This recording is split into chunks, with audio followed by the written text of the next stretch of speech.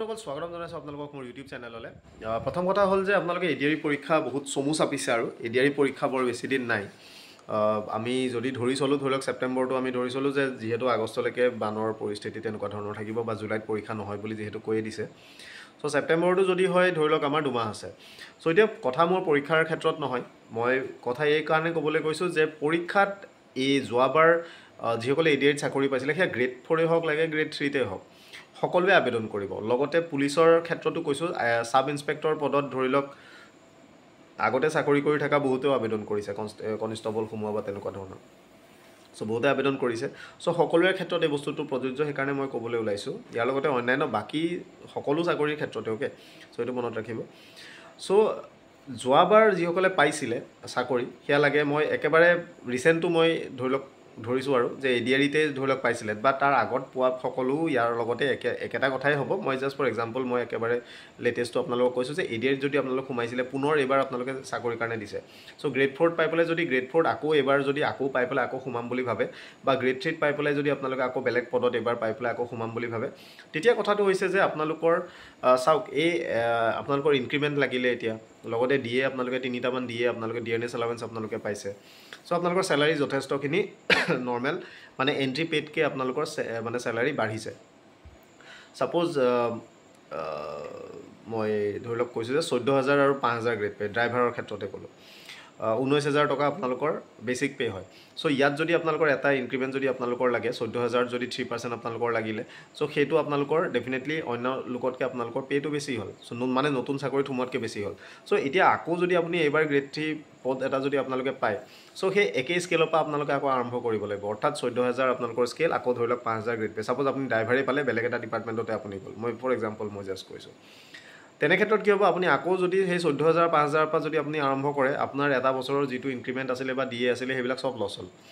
চ' সেই বস্তুটোৰ কাৰণে মই কিয় কওঁ মই যোৱাবাৰ এ ডি আৰ ই আবেদন কৰা সমু- সময়তো মই কৈছিলোঁ A D R E two আবেদন কৰোঁতেও মই কৈছোঁ যে আপোনালোকে নিজৰ নিজৰ অফিচৰ পৰা আপোনালোকে এখন এন অ' চি আপোনালোকে লৈ থ'ব। এন অ' চিখন লৈ থ'লে আপোনালোকৰ কি হ'ব? যেতিয়া আপোনালোকে নতুন চাকৰিত আপোনালোকে জইন কৰিব তেতিয়া আপোনালোকে পে' প্ৰটেকশ্যনৰ কাৰণে এপ্লাই কৰিব পাৰিব। পে' প্ৰটেকশ্যন এপ্লাই কৰাৰ পাছত কেতিয়াবা দুমাহ লাগে কেতিয়াবা তিনিমাহ লাগে কেতিয়াবা চাৰি মাহ ছমাহ তেনেকুৱা সময় লাগি যায়। কিন্তু আপোনালোকৰ পে' প্ৰটেকশ্যনৰ অৰ্ডাৰ আপোনালোকৰ আহি যায়। আৰু পে' প্ৰটেকশ্যনৰ অৰ্ডাৰ লৈ কেনেকুৱা ধৰণৰ অৰ্ডাৰ আহে কেনেকৈ পে' প্ৰটেকশ্যন পায় গোটেই ডিটেইল ভিডিঅ' বনোৱা আছে আপোনালোকে ৰাইট হেণ্ড ছাইডত চাওক। সেইটো আপোনালোকে ভিডিঅ'টো খুলি চালে আপোনালোকে আৰু ভালকৈ বুজি পাব। চ' এইটো বহুত দীঘলীয়া হৈ যায় নহ'লে ক'বলৈ গ'লে। আপোনালোকে আগৰ ভিডিঅ'টো চাই ল'ব। চ' সেই পে' প্ৰটেকশ্যন আবেদন কৰাৰ পিছত আপোনালোকৰ যিটো পুৰণা আপোনালোকে দৰমহা পাই আছিলে ইনক্ৰিমেণ্ট লাগি পেলাই দিয়ে লাগি সেই ছেইম দৰমহাটো আপোনালোকৰ নতুন পষ্টত আপোনালোকে যে জইন কৰি লাগে সেই ছেইম দৰমহা আপোনালোকৰ চলি থাকিব। অৰ্থাৎ নতুন এজন মানুহ সোমাই পেলাই বা যদি পুৰণা কোনোবাই চাকৰি কৰি থকা মানুহে এন অ' চি নলৈ পেলাই যদি জইন কৰিছে তেওঁলোকে নতুনৰ পৰা আকৌ দৰমহা পাব। অৰ্থাৎ একদম ইনিচিয়েলৰ পৰা আপোনালোকে তেওঁলোকে পাব। কিন্তু আপুনি এন অ' চি লৈ পেলাই যিহেতু পে' ফিক্সেশ্যন আবেদন কৰি আপোনাৰ পে' ফিক্সেশ্যনৰ কাৰণে অৰ্ডাৰ আহি গ'ল মানে পে' প্ৰটেকশ্যনৰ কাৰণে অৰ্ডাৰ আহি গ'ল আপুনি সেই পুৰণা যদি সেই ইনক্ৰিমেণ্ট লাগি পেলাই দৰমহা পাই আছিলে ঠিক সেইদৰে আপুনি আকৌ দৰমহা পাই যাব। অৰ্থাৎ অন্য লোকতকৈ আপোনাৰ দৰমহাটো বেছি হৈ থাকিব। আৰু আপোনাৰ মানে চেলাৰীটো আপোনালোকৰ লছ নহয় বা ইনক্ৰিমেণ্ট বা ডিএকেইটা আপোনালোকৰ লছ নহয়। অ'কে বুজি পালে? চ' সেইকাৰণে মই কওঁ সদায় পে প্ৰটেকশ্যনৰ কাৰণে আপোনালোকে মানে আবেদন কৰি ৰাখিব এন অ' চি এখন। চ' মই গোটেই ফৰ্মেটখিনি কেনেকৈ আবেদন কৰে গোটেইখিনি বস্তু দেখাই দিওঁ একবাৰ চাই লওক চ' এইখন হৈছে আপোনালোকৰ যিখন ফৰ্মেট আপোনালোকে মানে ফিল আপ কৰিব লাগে ফাইনেন্স এষ্টাব্লিছমেণ্ট ইয়েৰ চ' ছাবজেক্টটো আপোনালোকে চাওক pay' protection or fixation on appointment from one post to another post so' আপোনালোকে যেতিয়া এটা পদৰ পৰা আন এটা পদলৈ আপোনালোক যাব তাৰ কাৰণে আপোনালোকে পে' প্ৰটেকশ্যন লাভ কৰিব। অৰ্থাৎ ফিক্সেশ্যন আপোনালোকৰ সেই হিচাপত হ'ব। চ' ছাপ'জ একদম সহজ অৰ্থত যে আপোনালোকে ছাপ'জ যোৱা এ ডি আৰিত আপোনালোকে চাকৰি পাইছিলে। মই বেছি দূৰলৈ নাযাওঁৱেই বাৰু তাতকৈ পূৰ্বৰ হ'লেও হয়। চ' যোৱা এ ডি আৰিত ধৰি আপোনালোকে চাকৰি পালে। চ' এই বছৰৰ সৈতে আপোনালোকে ইনক্ৰিমেণ্ট পাব হয় নাই? চ' আপোনালোকে এটা ইনক্ৰিমেণ্ট পাব। লগতে আপোনালোকৰ ডি এ আপোনালোকৰ লাগিছে। অ'কে দুটা তিনিটামান ডি এ আপোনালোকৰ লাগিছে। চ' এই যিখিনি আপোনালোকৰ চলি আছে আপোনালোকে যেতিয়া এটা নতুন চাকৰিত যাব যদি আপোনালোকে পে' প্ৰটেকশ্যন নাথাকে তেতিয়া আপোনালোকে নতুনকৈ আবেদন কৰিব লাগিব। মানে চাকৰিৰ কাৰণে ফাৰ্ষ্ট তেনেকৈ ফাৰ্ষ্ট চেলাৰী আপোনালোকে দি কেনে আপোনালোকে ল'ব লাগিব। আৰু একেই সেই প্ৰথম মানে স্কেলৰ পৰা মানে গ্ৰেড পে'ৰ পৰা আপোনালোকে চাকৰিৰ কাৰণে যিটো দৰমহা পায় সেইটো আপোনালোকে পাব। চ' এই ডিটেইলকৈ কেনেকৈ বনাব পাৰে মানে কি কৰিব পাৰে তাৰ ডিটেইল ভিডিঅ' মোৰ এইটো আপোনালোকে আগৰ চাই ল'বগৈ পাৰে। ৰাইট হেণ্ড ছাইডে আপোনালোকে দেখিছে এইটো ভিডিঅ' আপোনালোকে চালে গোটেইখিনি বুজি পাব। আবেদন কৰা আবেদনৰ কৰাৰ পিছত কেনেকুৱা ধৰণে অৰ্ডাৰ আহে গোটেইখিনি বস্তু ইয়াত দিয়াই আছে সেইটো আপোনালোকে ভালদৰে চাই চেক কৰি ল'ব। চ' যেতিয়া আপোনালোকে পে' প্ৰটেকশ্যন এপ্লাই কৰি পেলাই যদি আপোনালোকে ল'ব পাৰে তেতিয়া আপোনালোকৰ নতুন চাকৰিটো আপোনালোকৰ পুৰণা দৰমহা হিচাপে আপোনালোকে পাই থাকিব। অৰ্থাৎ নতুন মানুহখিনিয়ে সেই স্কেল আৰম্ভ হোৱাৰ পৰাই দৰমহা পাব। ছাপ'জ চৈধ্য হাজাৰ আৰু ছয় হাজাৰ দুশ তেতিয়া বিছ হাজাৰ দুশ টকাৰ পৰাই আৰম্ভ কৰিব বেছিক। কিন্তু আপোনালোকে যিটো এক্সিষ্টিং দৰমহা পাই আছিলে সেই ছেইম দৰমহাটো আপোনালোকৰ কণ্টিনিউ হৈ থাকিব বুজি পালে? চ' এইখন আপোনালোকে চাওক প্ৰথমতে লিখিব লাগিব নেম অফ ইনকামমেণ্ট অৰ্থাৎ আপোনাৰ নামটো লিখিব লাগিব ডেজিগনেশ্যন অ'কে ডেজিগনেশ্যনটো আপোনালোকে লিখিব লাগিব নতুন য'তে আপোনালোকে যায় তাৰ। চ' ডিপাৰ্টমেণ্ট অফিচটো লিখিব নেচাৰ অফ এষ্টাব্লিছমেণ্ট অ'কে কেনেকুৱা ধৰণৰ অফিচ ইয়াৰ পিছতে ইম্পৰ্টেণ্ট কথা প্ৰিভিয়াছ এপইণ্টমেণ্ট আপোনালোকে পূৰ্বতে কোন ডিপাৰ্টমেণ্টত আপোনালোকে কাম কৰিছিলে? এই বস্তুটোৰ কাৰণে মই কওঁ আপোনালোকে যিকোনো চাকৰি আবেদন কৰোঁতে আপোনালোকে থ্ৰু প্ৰপাৰ চেনেল কৰিব। অৰ্থাৎ আপোনালোকে চাকৰি আবেদন কৰোঁতে মানে য'ত আপোনালোকৰ এইচ অ' ডিৰ আপোনালোকৰ এখন লেটাৰ লাগে সেইখন দি দিব। আৰু য'ত নালাগে তাত আপোনালোকে এন অ' চি এখন আপোনালোকে উলিয়াই থ'ব পে' প্ৰটেকশ্যনৰ ক্ষেত্ৰত যিহেতু আপোনালোকে পাছত পে' প্ৰটেকশ্যন আপোনালোকে আবেদন কৰিব পাৰে। চ' এইটো এটা মনত ৰাখিব। চ' ইয়াৰ পূৰ্বতে আপোনালোকে প্ৰিভিয়াছ এপইণ্টমেণ্টৰ গোটেইখিনি বস্তু লিখিব লাগিব। যে নেম অফ দ্য পষ্ট কি পষ্টত কাম কৰিছিলে কোনটো ডিপাৰ্টমেণ্ট আছিলে অফিচ আছিলে নেচাৰ কি আছিলে পে' ষ্ট্ৰাকচাৰ কি আছিলে পে' ষ্ট্ৰাকচাৰ এজেন কি আপোনালোকৰ গ্ৰেড পে' কি হয় পে' স্কেল কি হয় সেইখিনি। নেচাৰ অফ দ্য পষ্ট আপোনালোকৰ কেনেকুৱা ধৰণৰ পষ্ট আছিলে নেচাৰ অফ এপইণ্টমেণ্ট এপইণ্টমেণ্টটো আপোনালোকৰ কেনেকুৱা আছিলে। অ'কে চ' টেম্পৰী হয় পাৰ্মানেণ্ট হয় যেনেকুৱা ধৰণৰ আছিলে আপোনালোকৰ। তাৰপিছত date of release from the previous post so' আপোনালোকে যেতিয়া এটা চাকৰিৰ পৰা আপোনালোকে ৰিজাইন কৰিব বা আপোনালোকে যেনেকৈ ওলাই আহিব তেতিয়া আপোনালোকক এখন ৰিলিজ লেটাৰ দিব। সেই ৰিলিজ লেটাৰখনত আপোনালোকৰ যোনটো ডেটত আপোনালোকক ৰিলিজ দিছে সেইটো তাতে লিখা থাকিব। চ' এইটো আপোনালোকে বহাই দিব।